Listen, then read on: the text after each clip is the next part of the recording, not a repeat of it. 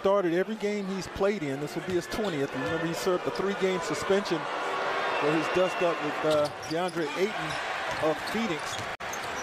And these days, they're counting on Beverley for the toughness and the agitating aspect of his game.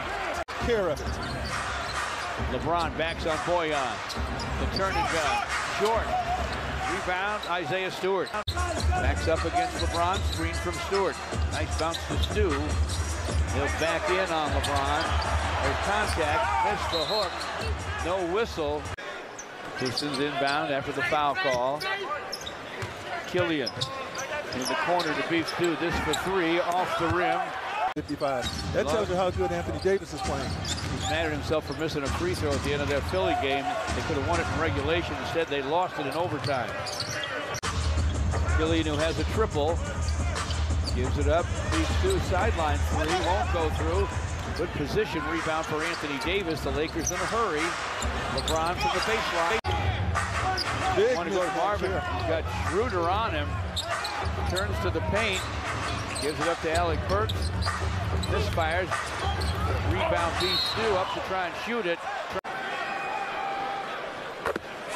Nice touch. The first free throw's down. They play at the second fastest pace in the NBA. Darvin Ham going to trust his uh, veteran Anthony Davis. 22 to 12. Isaiah Stewart for three, and that is through. George LeBron James will, if he stays healthy, he'll score over 40,000 points. Will that be uncatchable? I think so. Beef Stew short on the long gun from the corner. Westbrook the other way. Schroeder into the corner for Beverley. Another three, and this one's off iron. Isaiah Stewart with a rebound.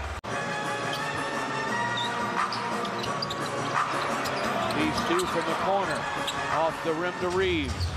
I think he's aware of who's guarding him. You know, he's seen uh, climb the ladder a couple of times, so that might just be in the head of Anthony Davis. Not just a guy.